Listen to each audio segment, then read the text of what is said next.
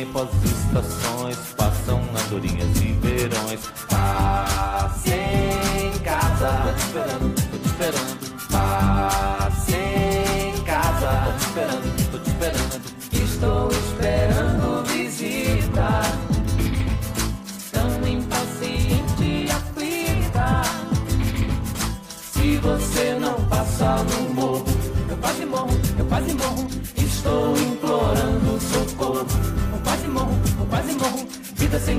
se você não passa no morro.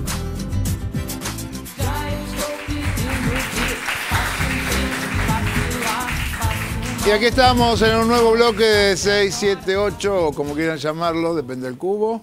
Eh, vamos a ver un informe sobre Chiche Helblum y la dictadura militar, cosas que tienen bastante que ver. Lo vemos.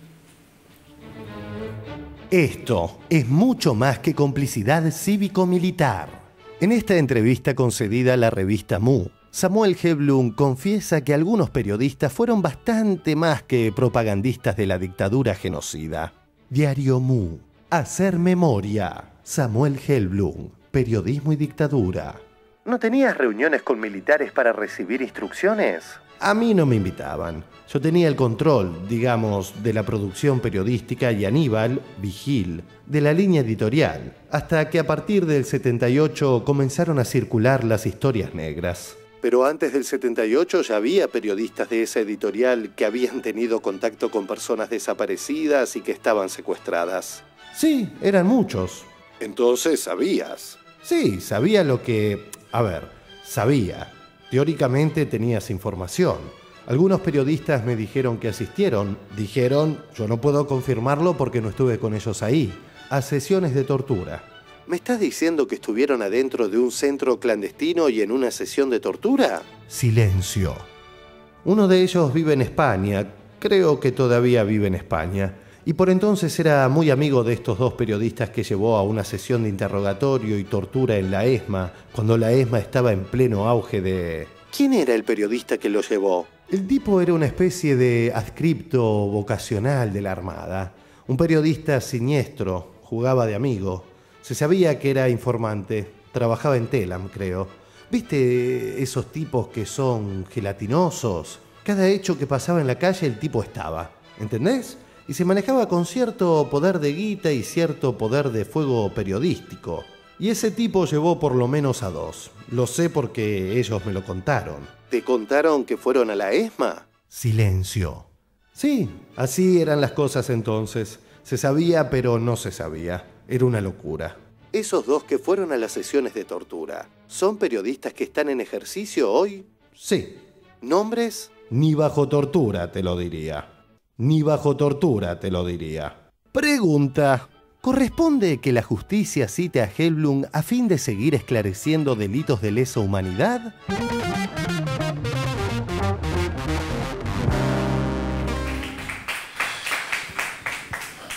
Josami. Bueno, no voy a decir que estoy asombrado como la vez pasada porque después me corrigen. Este, y además porque no hay ningún motivo para asombrarse en este caso porque yo creo que Helbund tendría muchas cosas que contar de la dictadura. Es este, imposible pensar que alguien pueda haber tenido funciones tan directivas en la editorial Atlántica, Atlántida perdón, durante la dictadura y que no haya eh, conocido algo más que lo que está diciendo ahora. ¿no? Recordemos que Atlántida hizo en sus revistas notas con gente que estaba desaparecida, por ejemplo. ¿no? La revista Para Ti hizo una nota con la señora Telma Jara de Cabezas, este, con, preguntándole sobre su experiencia en la militancia montonera y otras cosas, y esa persona estaba siendo, este, estaba secuestrada y volvió a estar secuestrada después de hacer la entrevista con... ¿Le hacen la entrevista mientras ella estaba secuestrada? Efectivamente. ¿no? Y, este, y si uno recuerda lo que eran las tapas de la revista Gente, los títulos de la revista Gente, los artículos de la revista Gente, a mí me parece que es importante todavía profundizar un poco la visión sobre el periodismo durante la dictadura, porque hay una mirada a veces un poco ingenua que tiene sobre todo la gente que no vivió ese, ese periodo. De pronto uno escucha a algún joven que te dice, bueno, ese trabajó en Clarín o en La Nación o en La Razón durante la dictadura, habría que meterlo en cana. No es cierto. Había un montón de gente que trabajó durante la dictadura que cumplió honestamente con su trabajo y que más de una vez incluso trataba de no ascender, porque imaginaba que en esa situación ascender implicaba mayores compromisos y responsabilidades. Y estuvieron los que medraron en esa época, que llegaron este, más allá de lo que en condiciones normales su, talento o su escaso talento les hubiera permitido, y me parece que el caso más notable es Chiche Germo. Ahora, lo de Chiche meritaría que un fiscal lo llamara para investigar a, si él tiene nombres de, gente, ahí son testigos, son testimonios. Sí, podría ser. En realidad este, eh, es difícil saber exactamente qué se podría averiguar, ¿no? Mm. Este, él no, no, dice nada muy concreto, en realidad, dice que conoce a uno que, sí, que, tiene dos nombres de dos, personas. Pero a mí más importante que eso, porque no creo que por vía de Chiche Helblum averiguemos muchas cosas, es que Chiche Helblum sigue siendo un periodista muy importante en la Argentina de hoy. Trabaja en un medio de los hegemónicos y de una de las radios más escuchadas. Y me parece que el problema no es solo de medidas judiciales también había una sanción ética que debiera aplicarse. Nosotros deberíamos lograr que resultara imposible que esta gente siguiera trabajando. ¿no? Claro. Sí, me parece que eh, sin duda Chiche Helblum podría sumar información a la que a la que está ya en manos de la justicia.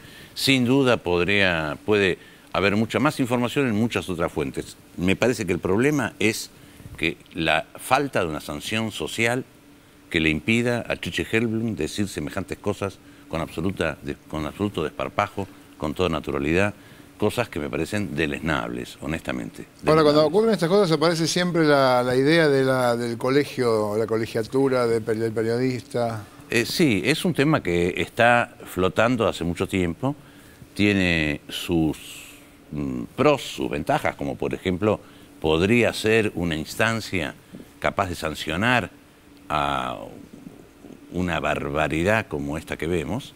O mentiras, eh, vemos todos los días. O mentiras. Tipo que dicen mentiras. Sí, sí, sí, sí. Eh, tiene ese, ese, entre otros, ese aspecto positivo. Tiene algunos que son de riesgo, que no son tan positivos y que son los que argumentan aquellos que están en contra. Hay dos bibliotecas para el tema del colegio y en general los argumentos en contra se alinean en la, en la preservación de la libertad de, escritura, de, publicación, de parte del ejercicio del oficio periodístico sin tener que ser un miembro aceptado, admitido, eh, etcétera, por el colegio, que también entraña muchas veces deformaciones o peligros.